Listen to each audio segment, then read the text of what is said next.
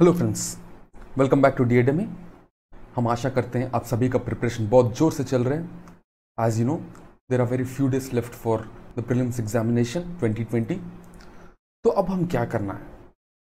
अब हम करना है रिवीजन और टेस्टिंग तो हमारी प्लान ऐसे होना चाहिए प्रीलिम्स के लिए।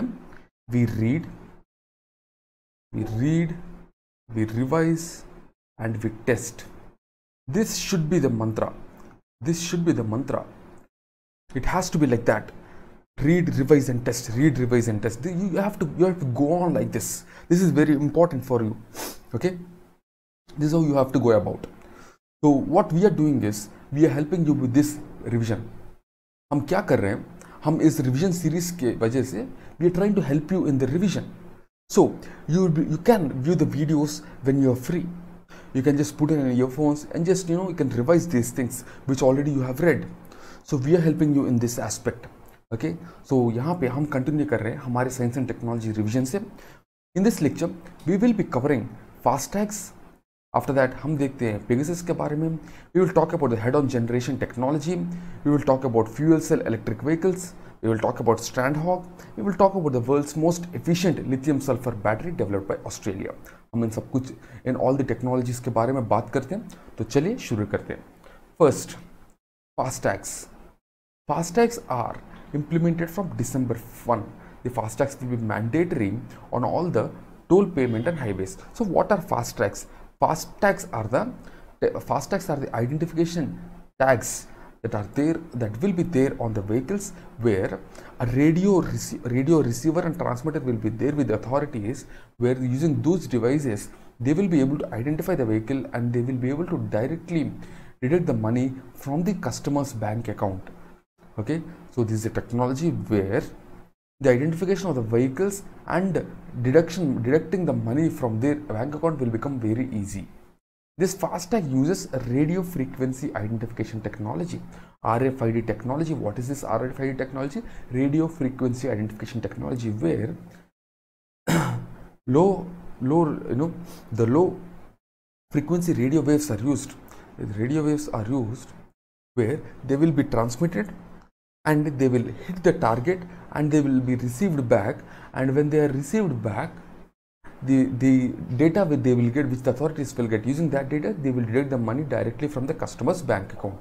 Okay, that is about the RFID, radio frequency identification device. So they are directly linked to the customer's bank account. A FASTag is valid for five years and it is implemented by National Payment Corporation of India. Okay, so you have to remember the FASTag uses RFID technology, radio frequency identification technology. A FASTag is valid for five years a FASTag, the FASTags are the money in the FASTags are collected by NPCI, the National Payment Corporation of India. These three things are important. Next one, Pegasus. Pegasus was in news. What is Pegasus? It is a spyware that works by sending an exploit link, and if the target user clicks the link, the malware or the code that allows the surveillance is installed on the user's phone. So Pegasus is basically a spyware. A type of malware. So what the Pegasus does is unknowingly un- without the knowledge of the customers the application will be installed and it will send the data of the users to the attacker directly. Okay? So it is a spyware. It is used for spying. The pegasus is installed without the user's knowledge or permission. Once pegasus is installed the attacker has complete access to the target's user's phone. So it has complete access. Next is head-on generation technology the head-on generation technology it is now being implemented on, on all the railways on all the trains okay? So between 2018 and 19 around 436 trains have been converted into head-on generation technology. So what is this head-on generation technology?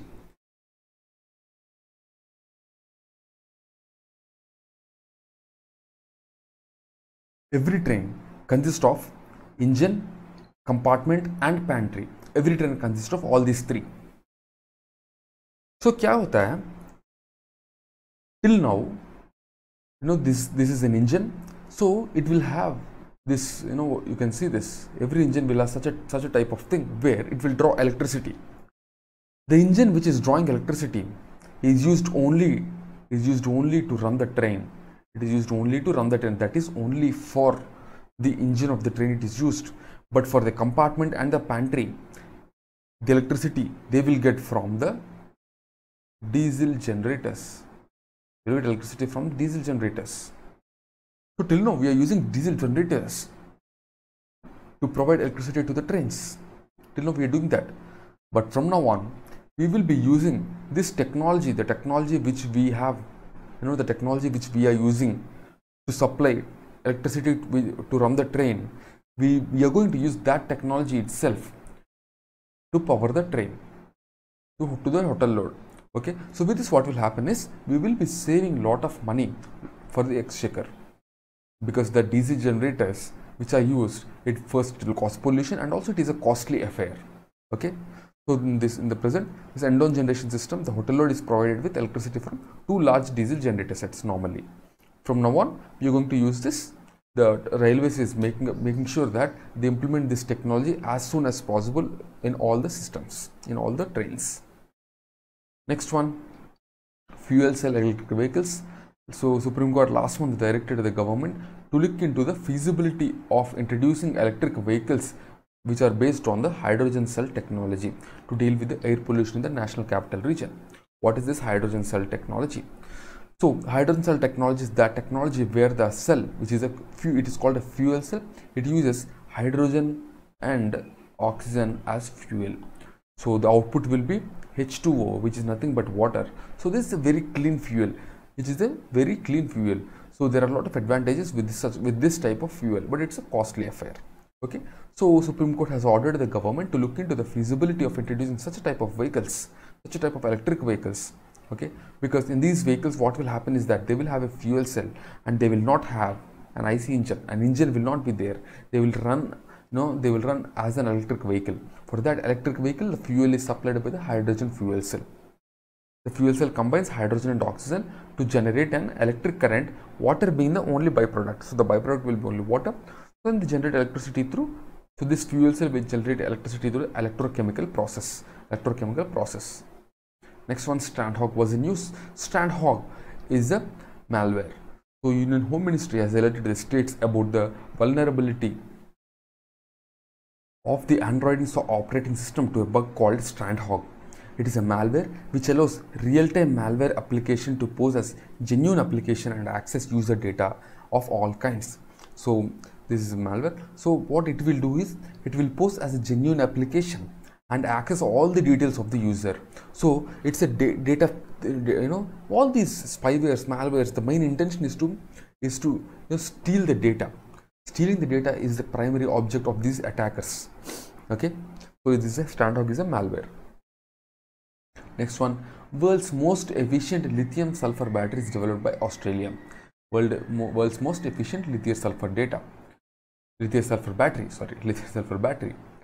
So, researchers in Australia of Monash in Australia, they have managed to create a super capacitive prototype by re-engineering a lithium sulfur battery. We already have lithium sulfur batteries which we use for various applications. What is that? What is the new thing in this new cell that was developed by Australia? The new thing is that Generally, in the lithium uh, sulfur batteries, there is an intrinsic problem with the sulfur electrode.